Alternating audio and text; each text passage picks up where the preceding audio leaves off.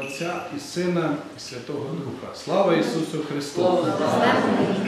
Улюблені браті і сестри, дозвольте сьогодні вітати усіх вас з радісним, приємним святом вашим престольним, пророка Ільї. Святом всіх поздравляю!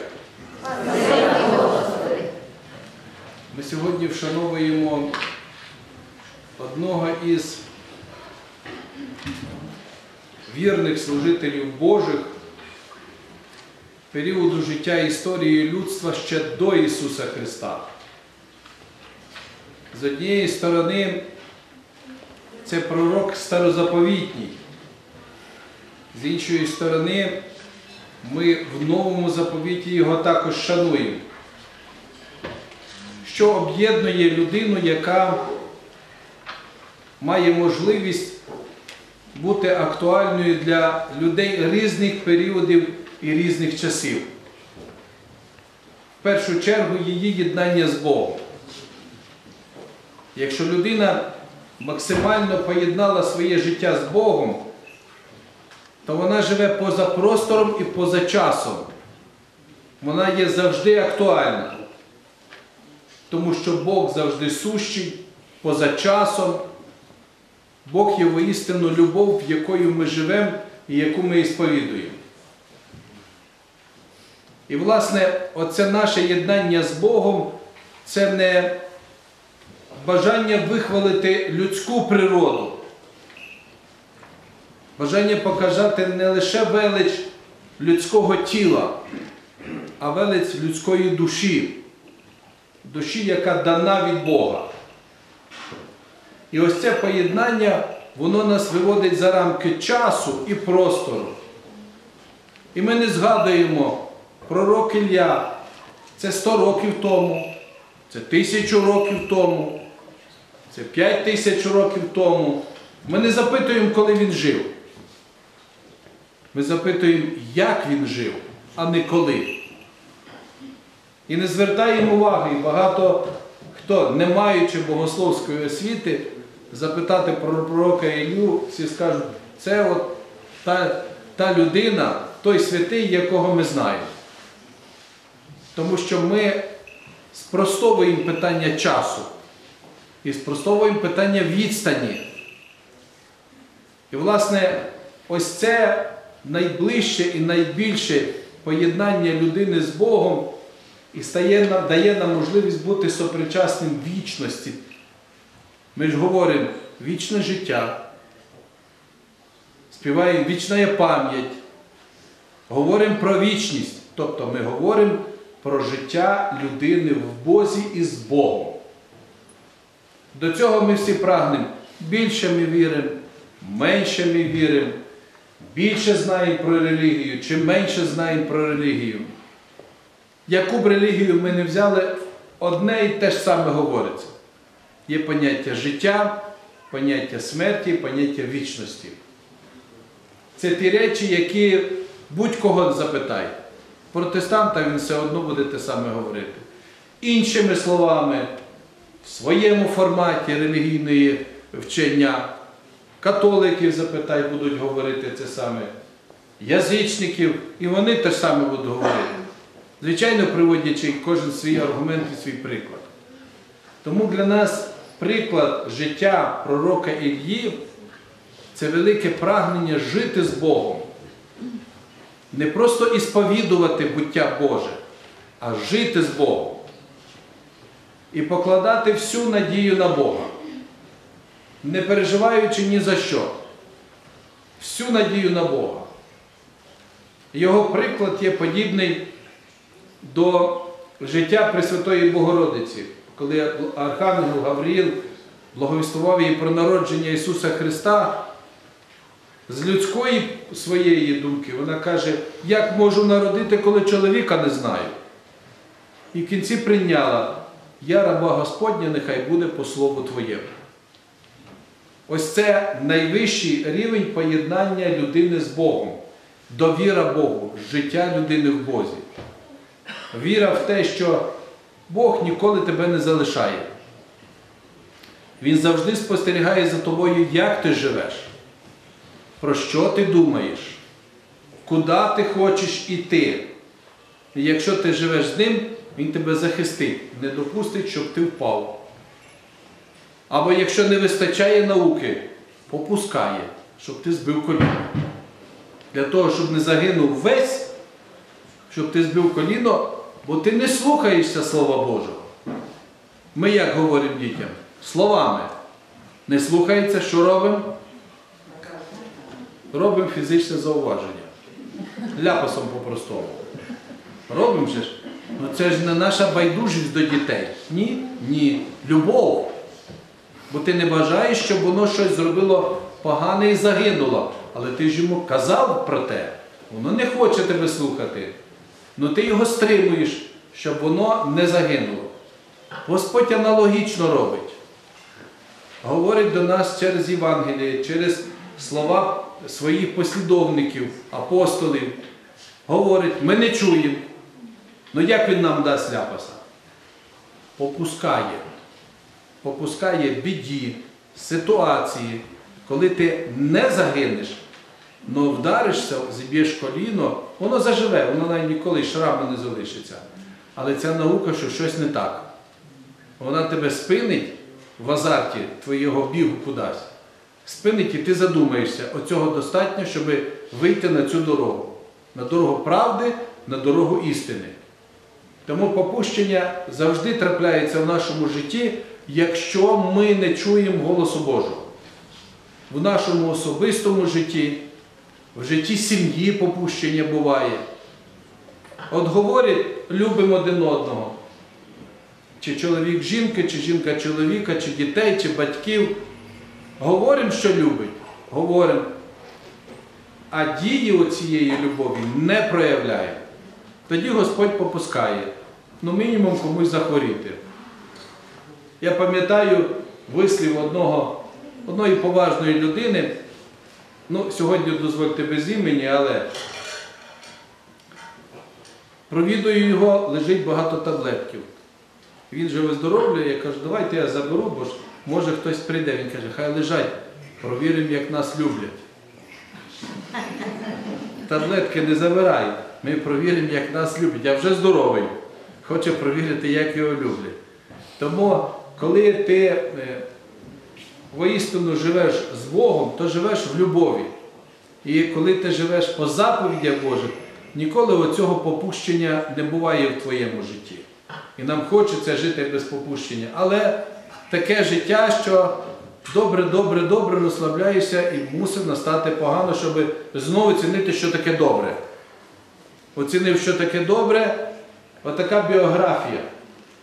Але це не дивна біографія, бо це біографія чи біблійна історія всього людства. Згадай одну із книг, книг Біблії, називається Книга царств. І ось якщо дивитися про приходження царів до, ізраїльського, до ізраїльської держави, так ось історія виглядала е, хронологічно так. Гарний, хороший цар, добре править, дбає про людей. Люди розслабляються, за них ніхто не треба переживати, починають грішити, щось собі придумувати. І кажуть, та що ти цар старий якийсь він не цікавий. І їм Господь посилає злого царя. Приходить злий цар, б'є їх обклав податками, гнобить ті до Бога. Боже, нащо ж нам такий поганий цар? Що ж ти нам послав? Ми ж такі ж хороші. Голос з неба, не грішіть, буде гарний цар. Не грішать. Знов приходить гарний цар. Знову царює, знову розслабився, знову поганий цар, знову набив їх. Вони знову прийшли до Бога, знову хороший цар прийшов. Ось це таке попущення. Ось так і ми, коли нам добре, ми розслабляємось. От скажіть, як часто приходимо до храму? Коли тривога, тоді до Бога всі, тільки малячка маленька, вже всі в храмі. Коли все добре, нема часу. Нема часу, робота, поле, жнива, ще щось. Знов погано, хтось захворів чи щось сталося, знов приходимо до Бога. Нічого нового. Тисячоліття проходимо, а людина одна і та ж. Але це приклад, як не треба робити. що до храму треба ходити тоді, коли нема проблем. Щоб випросити у Бога благословення, щоб їх і не було. Не було попущення ось цього. Щоб не було попущення в випробуваннях. Але, на жаль, не завжди наука приходить. Но ми ростемо. Нам не обов'язково, як по синусоїді, завжди повторювати одне й те ж саме, що було в історії нашого життя чи в історії самого людства. Нам треба йти по, штаби, по щаблях, по сходинках до. Не обов'язково повторяти по сходинках до. Тому я сьогодні, вітаючи святом, радію за вас, що ви вже не сходите по цій синусоїді, пішли по щаблях до верху. Ну вже перестали слухати, що ви москалі. Вже тепер це вас не стосується. Які ми москалі? Раніше ж слухали. Ще рік часу слухали, і слухали, і до церкви ходили, і казали, от якось воно, та ж ми українці, віра та сама, і скільки аргументів, що їх не вистачить на годину часу приводити. А потім скинули в кажуть, ні, та ми ж українці. І це ж не треба було вам якихось там особливих потрясінь. Да, наступив момент, коли ви не хочете рухатися так, як рухається вся історія. Ви хочете рухатися своєю дорогою. Дорогою до Бога, і дорогою до своєї землі, отчої землі, до своєї батьківщини. Повернутися лицем. Тому ви молодці, ви найкращі. Я вам сьогодні складаю щиру подяку за те, що ви змогли, багато ще хто не може, ви змогли скинути з себе ось ці кайдани, як казав Шевченко, кайдани порвіте і вла вражою злою кров'ю волю окропіти. Тому ви скинули себе і хочете бути господарем на своїй землі, хочете ходити в свій храм, молитися своєю українською мовою, молитися за свою батьківщину, дбати про своє. Це ріст, це великий ріст. Тому що ми кажемо, давай любити ближнього. От всі вчать любити ближнього. А я вам кажу, не з ближнього починайте. Залишіть ближнього поки в спокої. Ви начніться любити себе. Ви навчіться любити себе. А якщо навчитеся любити себе, то ця заповідь говорить ближнього як полюбити? Як самого себе. Тому що якщо ти себе любиш і ближнього, в тебе хата гарна, і ближнього гарна. А якщо ти себе не любиш, в тебе погана, то по тій заповіді ближнього теж повинна бути погана. Тоді народжується інша думка, яку насаджують. Колись так вчили. Що бажаєш ближньому? Щоб хата згоріла. Да, знаєте, да? Оце рівень. А чому? Тому що ти, ти себе не любиш. Не любиш себе. Колись співали такі старі часи, я багато вам старого нагадаю. Казали, ні корови, ні свині, тільки Сталін на стіні. Нічого такого не було. Це довчали. Отакий ближній мав бути. Голодранець, залежний від влади, яка його кормить, поє ніякої особистої думки, як телята. Гонили сюди, то на Первомай, то в колгосп. І кудись ганяли, не дали свободи. І тому, що ти ближньому побажаєш? Щоб він теж був без корови. Що ти ближньому побажаєш? Ну, щоб і далі. Так. Але ми стаємо іншими, ми стаємо справжніми і повинні ставати справжніми християнами. Бажайте ближньому дві хати, дві корови. Йому бажайте йому багато, то він не буде мати тоді часу до вас. Він буде зайнятий весь час. Хай має, Боже мій, легше позичити, легше піти щось взяти і не віддати. Він же ж має багато. Ну що, а в голодранця що позичиш? Ну воно саме бідне, воно в тебе хоче вкрасти. Не то, що ти йому щось маєш там дати. Ось цю ментальність треба змінювати. А цю ми правду сіємо в себе, жити по Євангелії. Бажати ближньому добра, бажати ближньому здоров'я, бажати ближньому довголіття, щоб він гарно жив, щоб він добре жив. Тому що серед нещасних, які є навколо вас, щасливим бути неможливо. Лише можливо бути щасливим, коли навколо тебе щасливі. І тому я радію, що ви скинули оцю стару філософію, для чого ми її згадуємо. Оце з того нас виховували. Тут не тільки про Бога говорять, а й про життя з цього місця. І тому виховують. Але ви знаєте природу 25-го кадра, да? знаєте. Але знаєте інше прислів'я. Скажи людині сто раз, що вона, вона те зробить. Тому якщо нормальній людині капати весь час, що вона русський мір, що спасе Москва, і тут починають всі вірити, що вірять до цього часу. Тьма заблудших. Просто е, страшно, наскільки ми такі різношерстні, наскільки ми закостяніли в любові до якихось непонятних ідеалів, до чужої землі. Ми себе не любимо. Як ми тоді хочемо бути щасливими? Всі хочуть бути щасливими, не люблячи себе, а не любиш себе, не любиш Бога. А якщо ти не любиш Бога, про яке благословення, ти в нього хочеш випросити. Ну як ти можеш це зробити? Неможливо це. Ти тоді такий візуально правильний, гарний пустоцвіт. Цвіте багато, але плодів мало. Ось це навколо нас багато є цвіту різного, але по ділах їх, по плодах їх пізнаєте їх. Сьогодні вас бачать по ваших плодах.